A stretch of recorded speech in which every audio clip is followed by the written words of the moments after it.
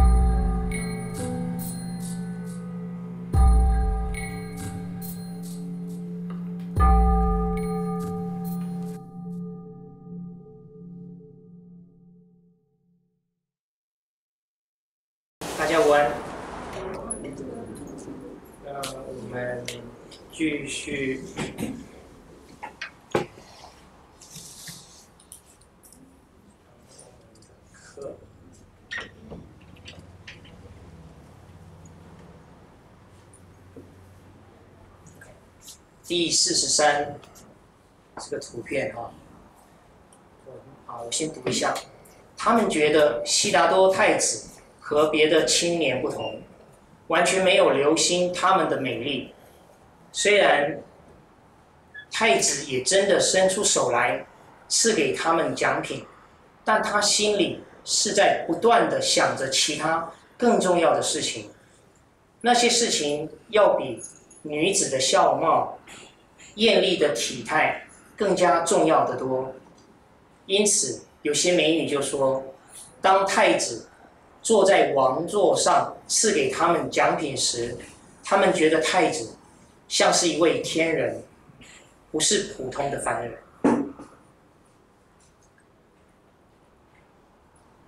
这一段呢，还是在讲啊，在那个算是啊，太子要选妃，要选太太的时那那个那个桥段。那。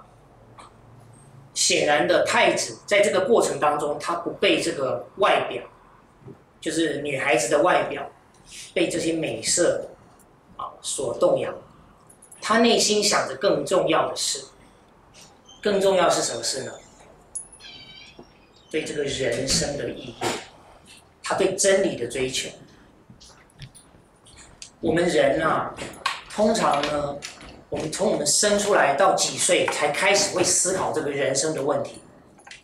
我我们大家来，我来问一下你啊，十岁之前就考虑到人生的问题的，请举手。二十岁之前有考虑到人生的问题的，请举手。三十岁才考虑到的。四十岁才考虑到，五十岁以上才考虑到，请举手。还没有考虑到的人都不会坐在这里。你们注意听哦，没有考虑到的人不会坐在这边啊听课。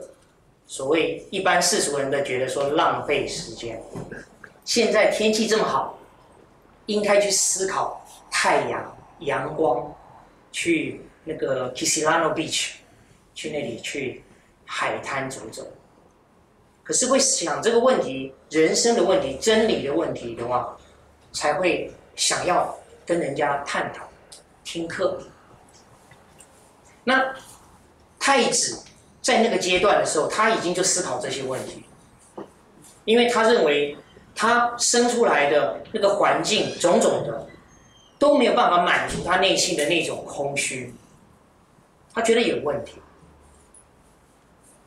那另外一件事情是他除了思考这个真理以外，他还一直在想要寻找什么解决痛苦的方法，解决众生的苦的方法。那当然，他自己的空虚都没办法解决了，他怎么有办法解决其他人的问题呢？所以他就一在一直在思考这样子。你们想想，那个选美的那个啊，就是说选妃的那种情况之下，这么多的美女，年轻的美女这样子从他面前走过，他居然他的心不在焉。那所以很多这些女孩子就啊，都是王族的人哦，他们看到太子这样像天人一样，如如不动的。那反观我们自己，我们从我们的荷尔蒙开始作用之后呢，都在想什么？我们都在都在啊。考虑到说，哎呀，要啊，以后要怎么样子的啊，娶谁嫁谁，怎么成家？像大家诸位应该都，我们都是华人的话，从小就会被灌输一个观念，说要怎么样子来准备自己，才有一天怎么能成家立业。那这个可以当做是人生的一个方向吗？在座的诸位应该了解，把成家立业当做个方向，而不是把自己完成自己，透过成家立业好也好，透过做事业也好，如果把那个那个态度、那个方向不对的话，这个人生他会有问题的。以别人为中心的时候。不是以自己的修学提升为中心的时候，一定会面对到一个没有办法解决的事情，就是什么？你控制不了别人，你控制不了环境，你控制不了其他的这些因素。如果我们着重我们的修行在于自己内心的那种进化的话，有一些事情是可以掌握的，至少你可以感觉到一直在进步。可是如果你把你的重心放在你的家人、其他的人，你的朋友、你的亲亲戚这些的话，你会失望的，因为这些是你没有办法扛掌控的。好，继续哈，四十四，美女们的行列差不多快要经过完了，奖品也没有了。太子还是静静的坐着不动，心中还想着别的事情。那女孩子们，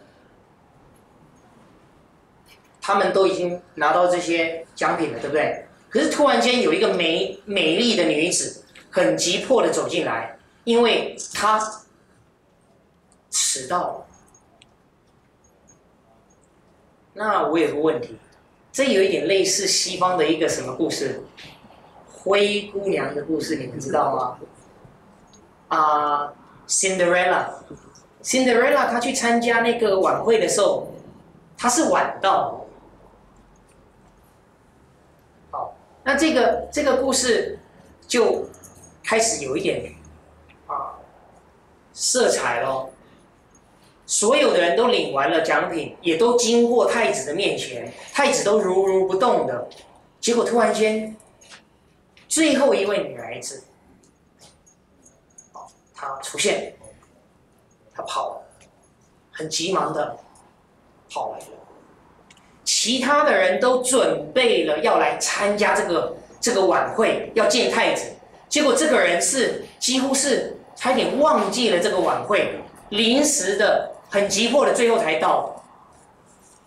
因为这位女子她本身啊，她对于这个太子，对于这件事情啊，也如同太子那样子的平平静静。她不是一种很期待的、渴望的、欲求的，要太子认同他。我们通常大家应该。我看大家都应该有约会过吧？好，那通常要约会的话都怎么样？你很期待要看到那个人，能会怎么样？会提早到还是会迟到？提早到。提早到，对不对？哦，还提早很久嘞，或者提早躲在旁边那里看，不要不要让人家感觉提早太久。可是这位女子她就迟到。那我们再看看太子跟她的互动。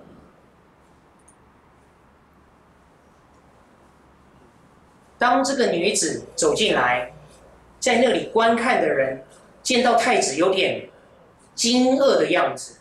虽然他和其他的女子一样，也是低首含羞的经过太子面前，但他走过以后，又回过脸来，微笑的问太子道：“还剩有什么奖品赐给我吗？”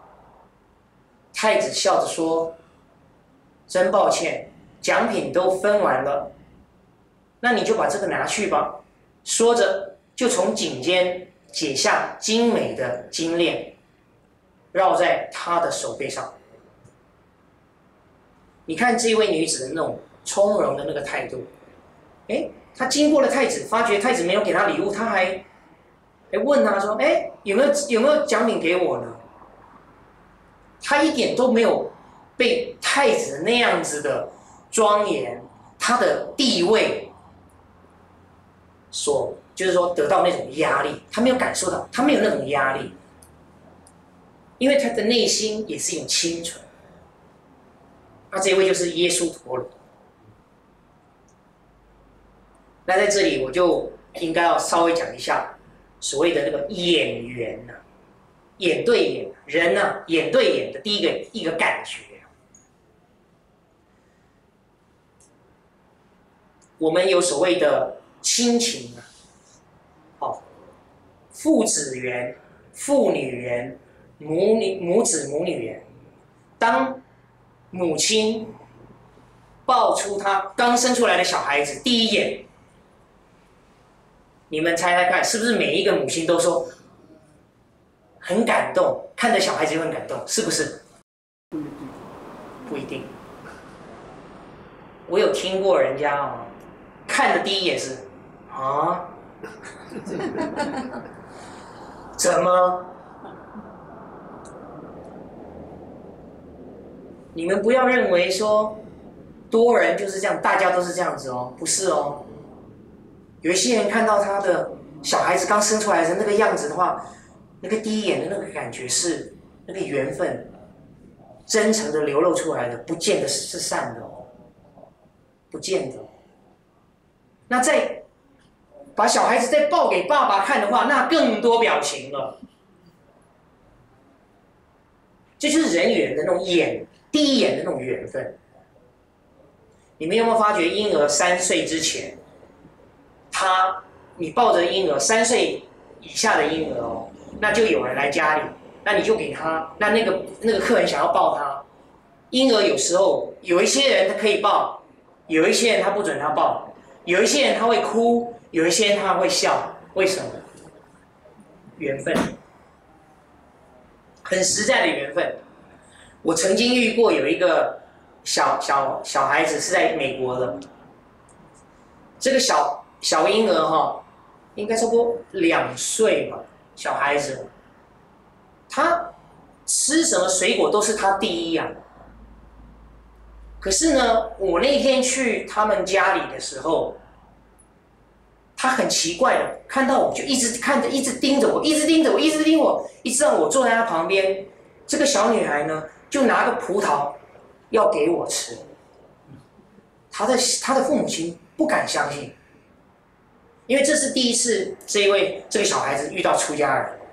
可是他遇到出家人呢，他就没有像跟对别人样子，他就吃他自己的，他也不会去想要怎么样。他遇到出家人反而会拿葡萄来。那这就是代表说，可能是我跟他有缘分，还有他跟出家人有缘分。你们应该在生活当中都会遇到这样子类似这种这种状态。人缘的那种缘分是很奇妙的，它是一种气，一种就是说业力业的因缘，你可以感受到。那有亲情的这种缘分，还有夫妻的缘分，还有友情。朋友的缘分，夫妻的缘分是非常复杂的。可以说，跟你没有缘的人，你不可能跟他结婚的，就这么简单。所以我常常跟人家讲说，只要是你结为夫妻啊，那个人肯定缘分跟你是很深的。而且他的跟你的缘分是有一些课程啊要处理的、要上的课。这个课程有可能是什么呢？懂得要放下的课程。如果很好的话，要能懂得放下。因为夫妻很好的时候，总是会有人先走嘛。那另外一个人的课程就是什么？要懂得放下。而且通常都谁先走呢？比较能放下的人先走。比较不能放下的会留下。那另外一种呢，是从结婚吵到晚年的。那那个要学什么？学的包容。学的体谅，学着如何的从恶缘转为善缘，这些功课，不管是放下，或者是要啊啊化解，如果没有学好的时候啊，这一世没有学好的话，肯定肯定怎么样？来世，未来。还是要学的功课。那在这里你们要了解哦，我不是说一结婚就不应该离婚，会有任何的其他的状态哦，我也不是这个意思哦。结婚、离婚什么样子，种种，它有太多的这种可能性了。我现在讲的是那个缘分，有没有可能两个人因为缘分很浓厚，在一起结婚了之后？发觉不适合，必须要离婚。可是离婚之后还能结了善缘呢？还是好朋友呢？有没有可能？有。那这场功课就完成了。你们要记住哦，在从佛教的角度，在从因果的角度，从业报的角度，没有什么的爸爸妈妈、哥哥、兄弟姐妹。这些名称是我们人挂上去的，你知道吗？从因果、从真理、从宇宙的这个运作来说，所有的名称、所有的角色扮演啊，都是一场戏里面的不一样的角色而已，它没有固定性的。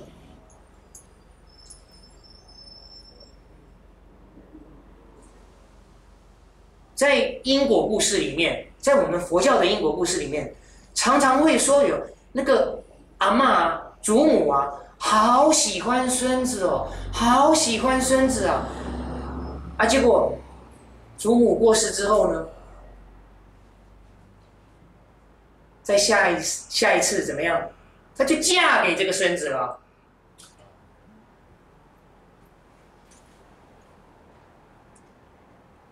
因为角色不一样了，可是。没有改变的是什么？缘分。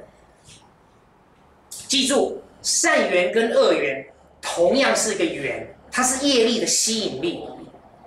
善缘跟恶缘的东西都会在一起。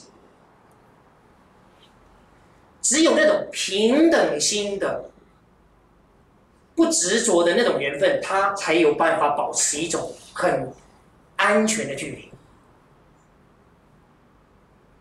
那。当然，从解脱的境界是追求一个平等心，对不对？那我们在凡夫的阶段的话，我们至少要追求什么？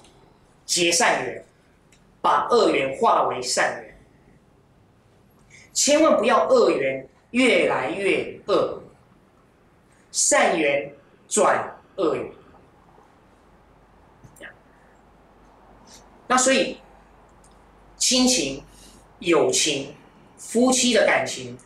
这些东西它都是因为业力的因缘而产生的。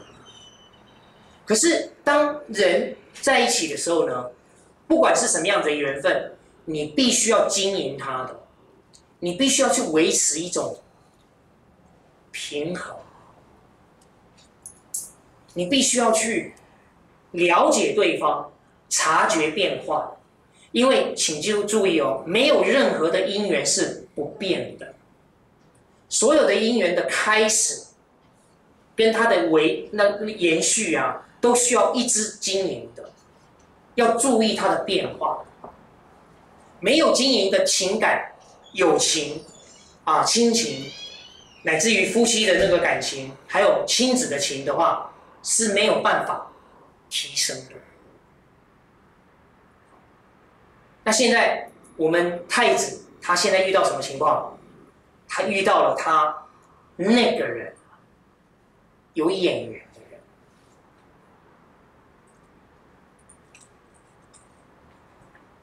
四十六。那班奉了国王命令去旁边观看的臣子，见了这样的情形，非常的欢喜。他们就调查这位最后经过的贵族女子，她名叫什么？耶稣陀罗，是善觉王的女儿，所以一起去呈报进犯王。进犯王就是太子的父亲。那进犯王呢，便派他的大臣。去景业，就是去报告，去找这个善觉王，为悉达多太子向他的女儿耶稣陀罗公主求婚。所以在那个古印度啊，他们的这种啊，就是说王族的这种结婚的制度是。先选妃中意的人啊，再来呢要提亲，那就是国王跟国王要提亲，那希望说对方也看得中他的这个太子，那这样啊肯成成就这个这个婚事。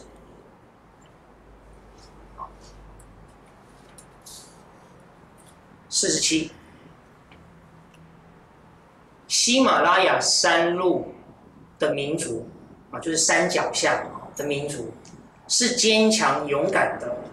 所以释迦王族的风俗，当一个青年王子要结婚时，他必须当着众人表示自己是聪明的人，精于骑马、射箭、剑术，像其他的勇敢的青年一样。悉达多太子。也依着他们的风俗，邀约了全国聪明勇敢的青年，在加比罗城比赛武艺。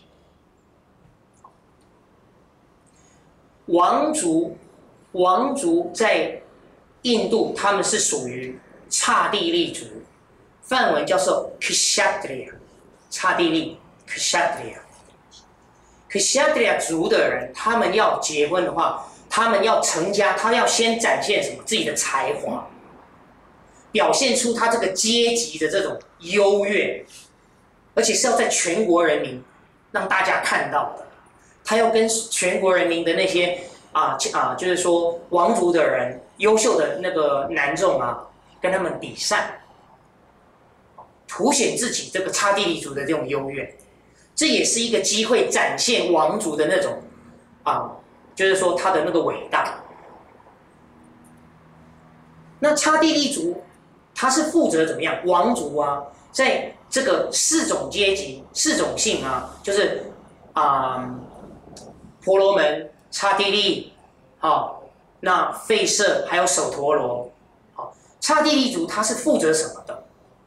他是负责打仗的，他是负责管理国家的，他是负责保卫国土的。治理这个国家、维持秩序的，这是他们的责任。那所以他们很推崇什么武力啊，就是身体的强壮、体魄、哦剑术种种。那这里就提到一个所谓民俗、民族的风俗啊。请问诸位，有没有所谓最好的民族风俗呢？有没有所谓最不好的民族风俗呢？我要提醒诸位哦，我们身为佛教徒啊，要有个观念，我们要慢慢的跳脱出某一些错误的风俗的包袱束缚。真正的佛教徒，他是追求真理的，所以他渐渐渐渐的，他会放下什么样子的一个观念呢？种族的观念，与真理相应，与解脱到相应的啊，佛教修学者，他会超越了种族，超越了国度，超越了肤色，超越了性别。他会慢慢的超越这些东西，因为他必须要达到什么平等心。那我们说超越，是不是就看不到男女的这个差别呢？不是哦，你知道，可是你会尊重个别个别的差别性，可是你不会把别人框在某个角色。我上次也提过了嘛。我我平常在南美洲弘法，那我们那边在那边的华侨，不管是台湾过去，不管是广东过去的，不管是香港过去的，不管是从大陆内地过去的，大家都称为我们中国人，他们外国人。这个就是说，一我者就是外，跟我一样就是内，自己人。别人，这种观念很危险的，因为我观察当地的阿根廷人或者是巴西人，他会问你说：“哎，请问你是哪一国的人？啊，你是中国人啊，你是台湾，你是香港？”他会给你那个地区性，他会给你这种尊重。我还没有听过啊，西嗯。阿根廷人或巴西人或巴拉圭人说：“你们外国人。”哦，那是在南美洲。那我们想想看，加拿大，你们有没有常常听到英文讲说，foreigner？Oh, you foreigner？没有啊。加拿大人是说：“啊，you Chinese，you Korean，are you Japanese？啊，you from Germany？” 你懂我意思吗？他们会尊重我们的来处，那这代表什么？代表他们在种族的歧视方面，他们比较有概念，不应该有那样子的异己者叫排斥，你知道吗？这个观念大家要要要要注意。包括广东话还有，好像有一句非常怪的一句话，什么“我诶鬼鬼佬鬼佬”。鬼佬哇，而且那个是鬼嘛，对不对？鬼鬼佬哇，那个是我看不适合。哎，那个鬼佬，那个鬼佬，嗯，那个不大好。那那我们就拐内喽。啊，拐老那拐啊，拐外拐内。那这个这个这种风俗啊，我们要注意。语言反映什么？心念。有一些不尊重人家，可能会侵犯到别人的，可能不啊啊，就是说有不尊重别人的语语词啊，要去改变，不要把它当做是啊就是这样子啦啊，你听得懂就好了啦。哎，我没有任何歧视的意思哦，哦，就是这样子。那请问你们知道一个句一这个句子叫做 chink 吗？嗯，真正歧视中国人的问问着哦，哎 chink，哎 chink。啊，我们就生气喽。他说：“哎呀，你知道啦，我就讲你们而已啦，那可以吗？我们能接受吗？不能接受。所以风俗习惯，我们中国的风俗习惯，我要告诉大家，我本身对中国文化我是非常尊敬的。可是因为我是佛教徒第一，中国人第二。”或第三哦，佛教徒第一，出家人第二，再来其他的这个身份、其他的定位哦。我要告诉大家，中国文化有一些风俗是好的，我们要保留；不好的，我们要清楚什么不好的。我常常在跟大家提醒，重男轻女的观念是很要命的观念。重男轻女不是个好观念，那是对整个世界的一半的人口啊，告诉他们说，你们是女人，所以你们是第二个位置，第一个位置是男众。这个是我们的传统的一个一个观念，我认为是必须要重视的，必须要去面对的，必须要去改进的。可是我们中国人的那个孝心、孝道很好，我们照顾自己的父母亲的那种，就是应该做的这种观念，好不好？很好，这就要保留。那所以风俗习惯，从佛教徒的角度的话，还有民族的那种观念呢，我们要必须保留好的。对有问题的东西，我们必须要慢慢的去铲除它。这样子，我们我们自己思想观念清楚的时候，我们才可以传达正确的信讯息给下一代的人。不然的话，下一代的还是继续的叫说“拐老拐老拐老”，啊，他们的下一代也是这样子叫。那当然在这里哈，你们就会发觉说，你看之前是选美，对不对？那就是女众要展示自己的外貌，接下来是太子要展示什么？他的英俊跟勇敢、英勇。那也是什么外貌？这告诉我们什么？两千五百年前的印度，印度啊，也是个外貌协会的社会。你知道外貌协会什么意思吗？哦，这哎，这里可能我这个年龄层次有一点问问的。外貌协会就是现在目前常常讲的，就是说注重外表的人。对，以前就是这样子。我们现在还继续这样子，而且现在啊，我发觉香港跟台湾有一个有一个很要命的名词是什么？正妹、辣妹啊，正妹、辣妹，你有没有听过？哦，什么领雷？哦啊啊是是有有什么啊社会的事情啊？什么啊学生去抗议？啊，就有一个女孩子比较漂亮的，那报纸就登说，啊，冷雷，哦，冷雷来参加这个社运，哎，问题是社运重要还是这个人的外表重要？争取民主这个重要吧？为什么被转移了这个重点呢？那我还没有看过一个标题哦，在台湾或香港哦，没有说领宅参加。社运，哎，这是什么原因？这就是重男轻女的观念，这叫做物质化女人。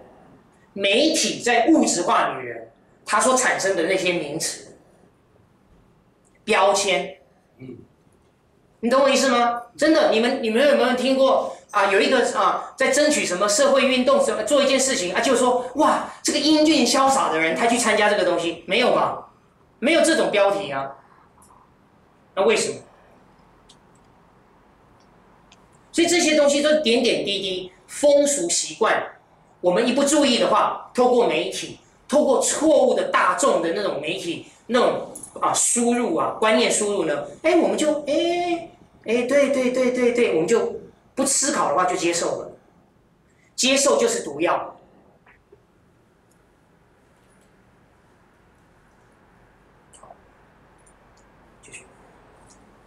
四十八，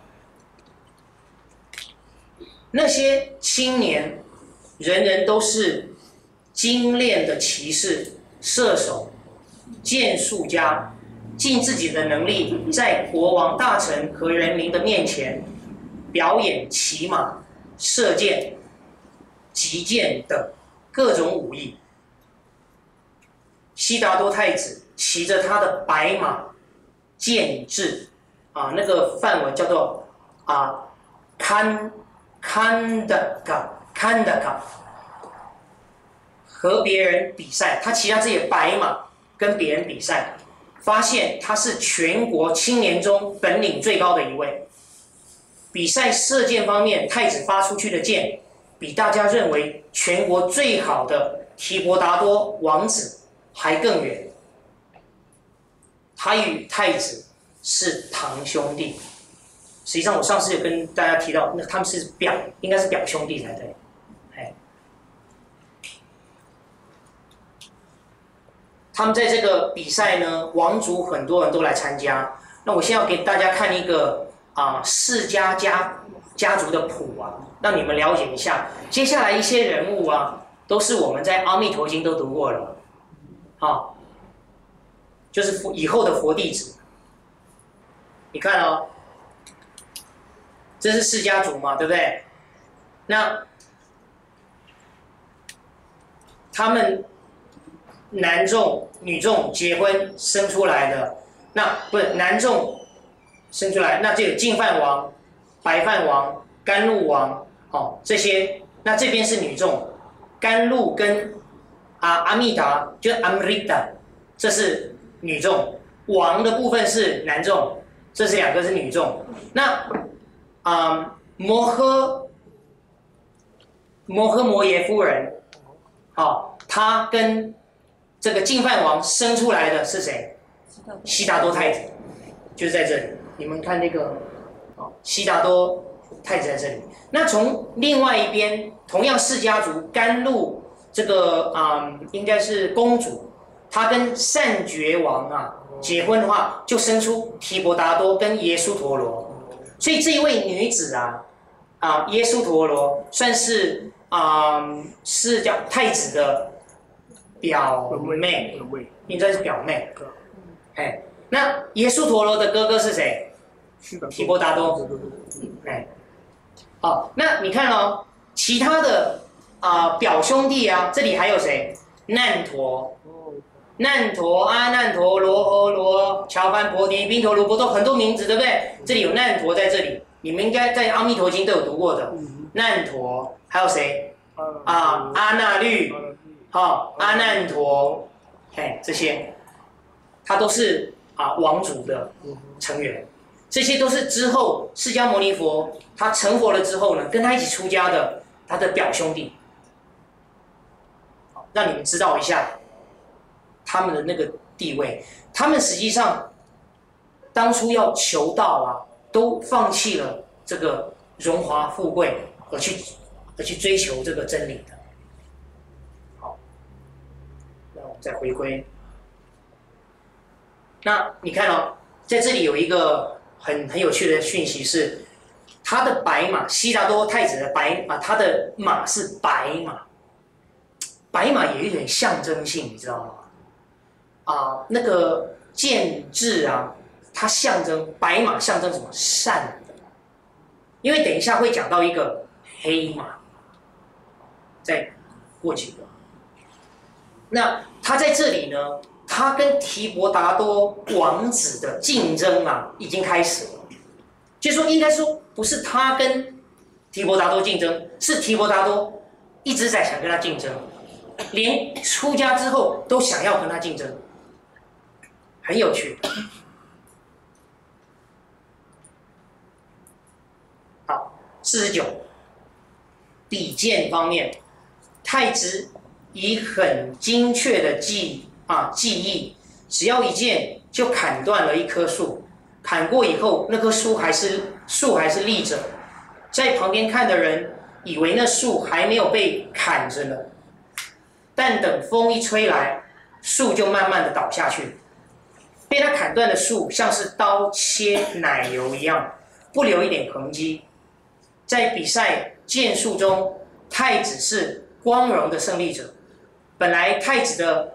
异母兄弟难陀王子的剑术一向是被大家认为最精的一位，所以再次在这个比较这个剑术呢，释迦太子他又赢了他另外一个他们这个家族另外一个王子。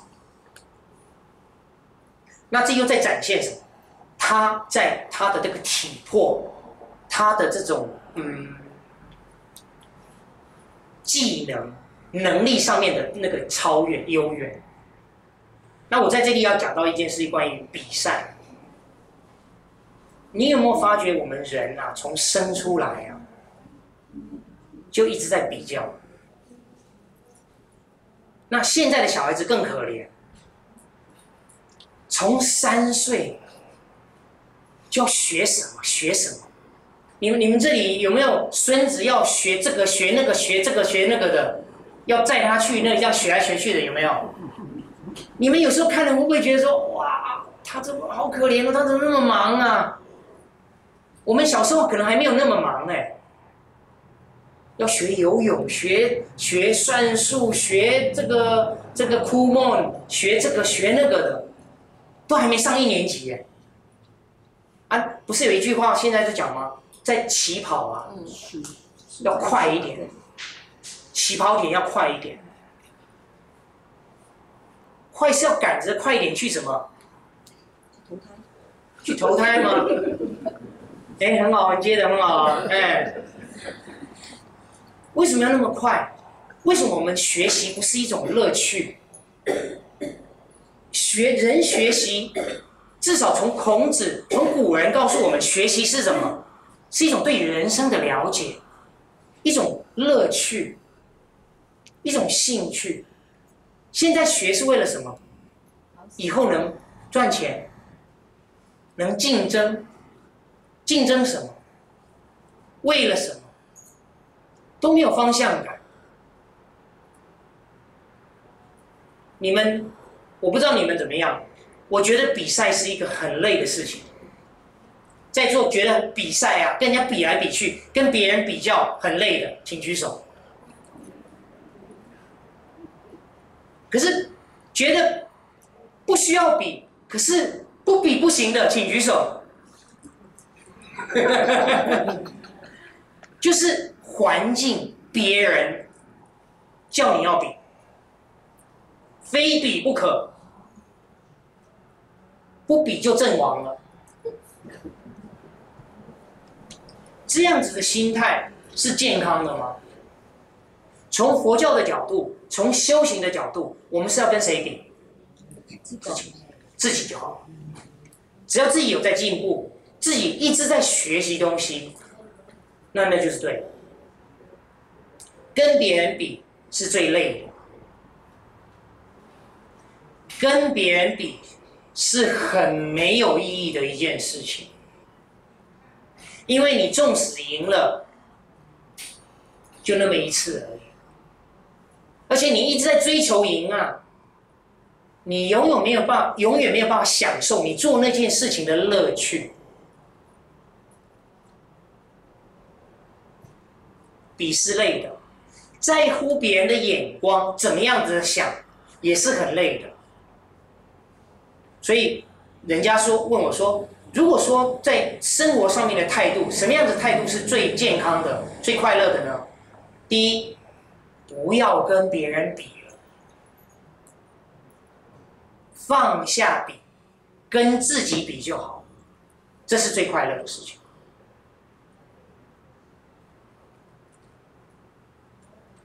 好第五十，再次是比赛骑马，因为悉达多太子依靠他的白马剑志，奔跑很快，把别人都丢在老远的后面。同他比赛的人就觉得不满，也有人自己解嘲说：“啊，那个太子，他很容易的胜利，是因为他那匹马的关系。”如果我有那样跑得快的那个马，像那个建制跑得那么快的话，那一定也能胜利。那如果他换一只很少人骑的那个黑色怪马来试验的话，无论是谁骑上去，一定会是最慢。那这是什么？嫉妒心嘛？太子骑着他的白马。赢了比赛，那别人就说什么？别人是不是赞叹太子很快？没有，跟他比赛的人就说：“哎呀，都是你的马比较好。如果你换了那个黑马的话，就赢不了。”那这里有一个可以反思的、反观的，请问我们人赞叹别人容易，还是嫉妒别人容易？嫉妒，嫉妒，很自然的、自然的流露出来的一种感觉，你都不用刻意哦，就哼，凭什么？内心这样子一个想法。可能讲出来的话是啊，哎呀，恭喜你！那凭什么？内心是这样想的。有这种想法的请举手。偶尔，偶尔不是常常哦，偶尔的请举手。来看，我要看大家可不承不承认自己啊，我都承认。点点滴滴哦，你不在乎的事情，你不会嫉妒人的啦。你不在乎的事情，你不会嫉妒的。你在乎的东西，你就会嫉妒，是多跟少、轻微跟重差别而已。可是我们人的自我的问题没有对峙的之前呢，完全对峙之前，我们的嫉妒心一定会有的，可多可少而已。所以一定要去审查自己这种心。嫉妒的相对是什么？在我们佛教的修行，有一种修行是。对峙嫉妒的叫什么？水洗赞叹，在普贤十大愿望叫水洗功德。人家做的好事，帮助到别人，他的能力啊，成就了什么东西？我们第一个反应要训练成什么？啊，恭喜他，祝福他，希望他能保持，希望他能更好。这个是要培，叫训练的。因为它是与我们的自我自私的心态是违背的，所以刚开始是嘴巴讲而已，嗯嗯，我很随喜他，很高兴，很替他高兴，很恭喜他，好，而是慢慢慢慢越讲越相信，越讲越相信，自我洗脑，嗯，我就是要这样子，我就要去随喜人家的好处优点，因为随喜人的时候才会去怎么？观察人家是怎么样子达到这样子的，才有办法跟他学习。我们通常是嫉妒，所以要反反思考。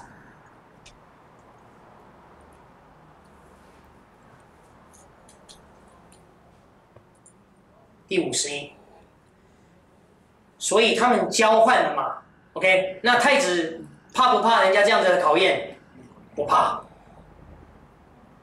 那好啊，来试试看。意思就是说，他们大家现在不是在比那个赛马喽，现在比什么？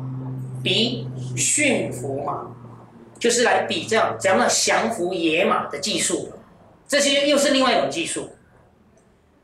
他们交换了马，每人尽力的骑上那只黑马背上，结果都被高傲凶恶的黑马摔了下来。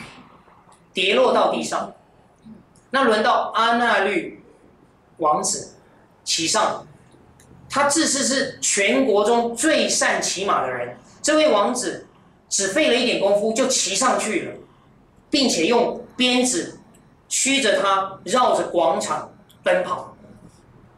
哦，所以阿那律王子上去了，对不对？那他就用什么这个鞭子来降服这个黑马。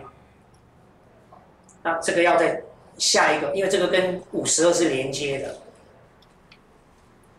只第第五十二，只一席时间，谁也料想不到这只凶恶难服的马有什么神力。转过头去，他用手衔用口衔住阿那律王子的腿，从马背上直落下来，在那里虽有保护的人员人员。如果不愿帮助他，或只慢慢的走过去，或是站在马后面不去赶打他，毫无疑问的，这只凶恶的马会使阿那律王子丧失生命。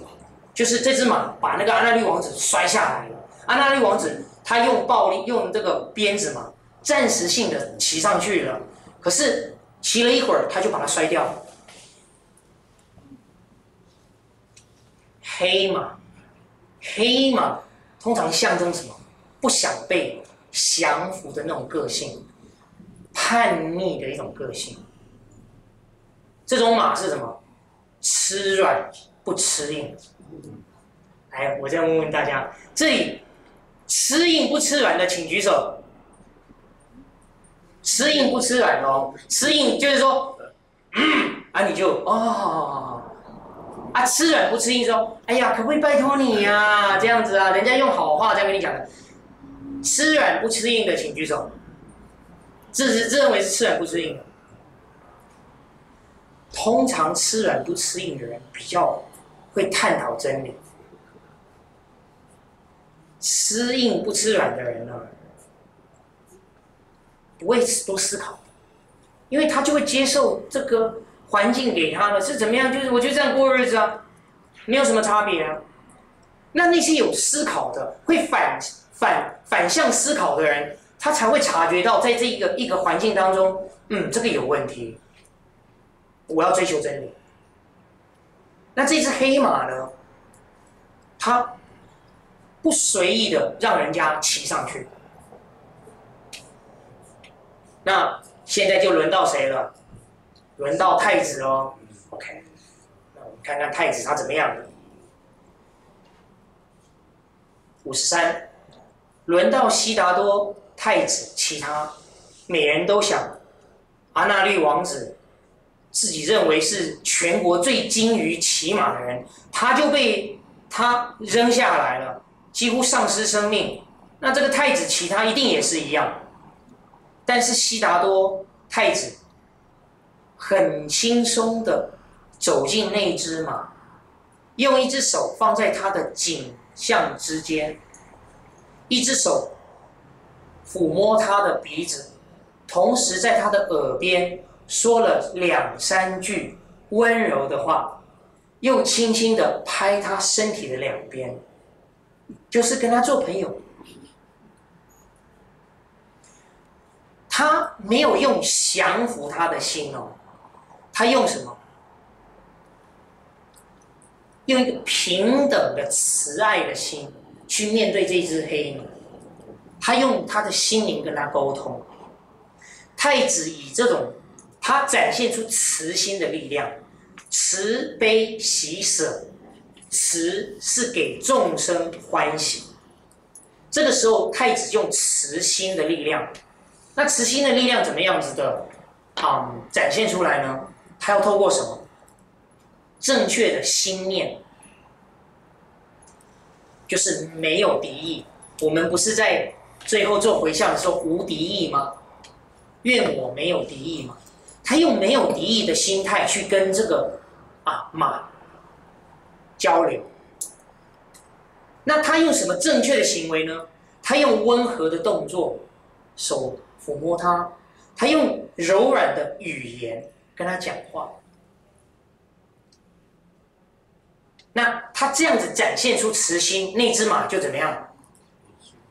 哎，就肯听了。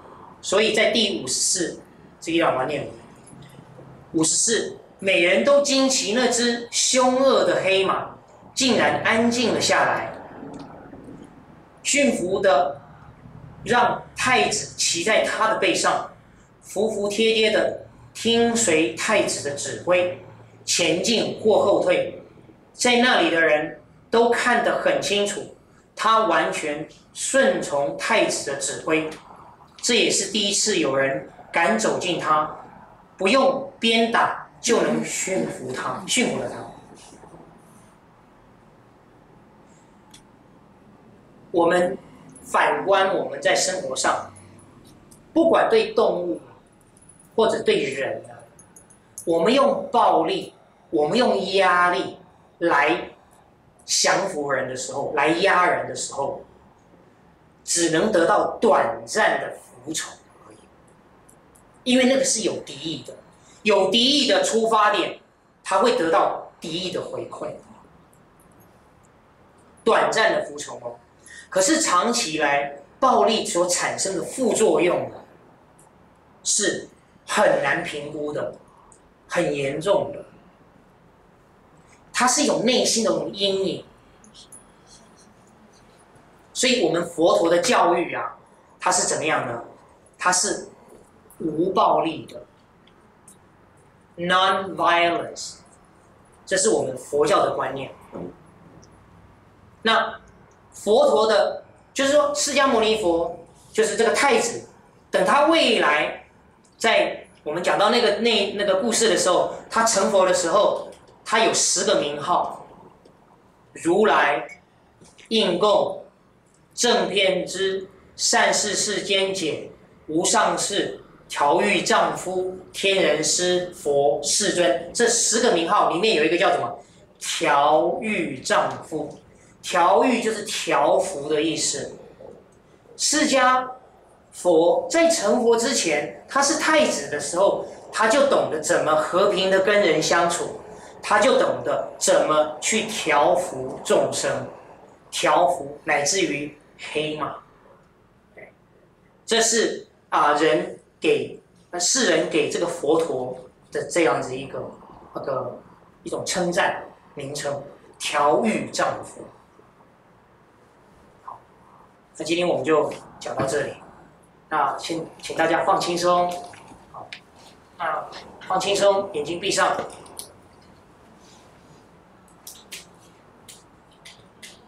那我们把今天在这里凝聚的这种善能量、善法，这种追求真理的这样子的这种善念，我们。来把它点燃内心的那个慈心呢？那这个慈心呢，你要把它当做一盏灯那样子，在你的内心当中，它是一盏光，一盏灯，它是光芒。那请随着我念：愿我没有敌意，愿我没有敌意，愿我。没有称谓，愿我没有称谓；愿我没有痛苦，愿我没有痛苦；愿我保持快乐，愿我保持快乐。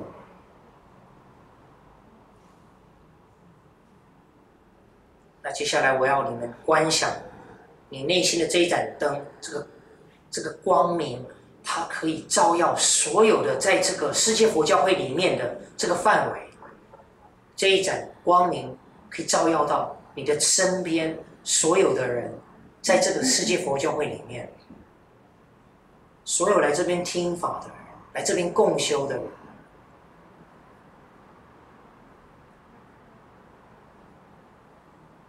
那进一步呢，再把这个光明照耀到。整个温哥华，让所有温哥华的人都能感受到您的这样子的光明。你要把这个光明散播出去，跟他们大家分享，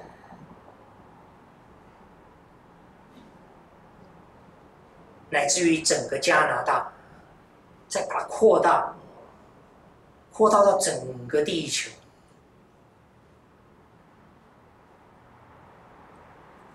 所有在这个地球居住的众生，再把它扩大、扩大，把这个光明，甚至于你把所有的界限都拿掉，让它扩大到整个宇宙、十方世界。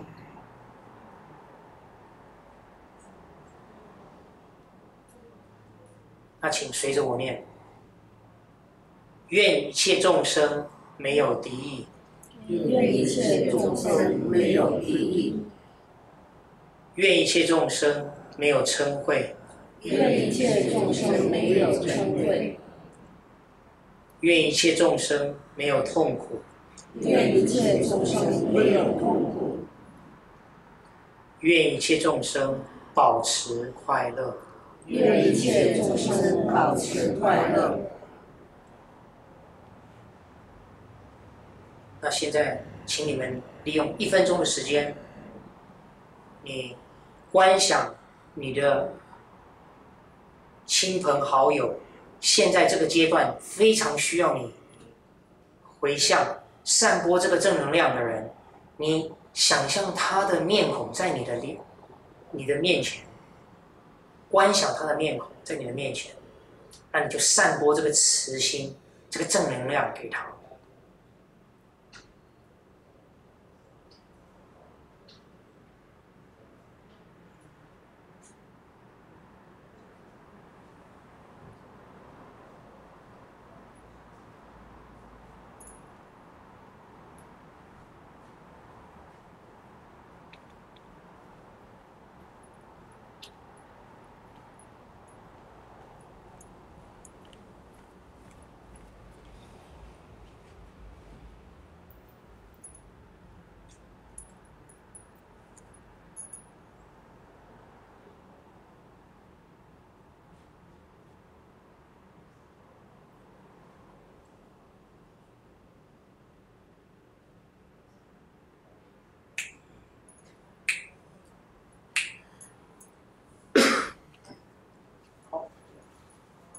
那今天就到此，那下个星期日我们再继续上课。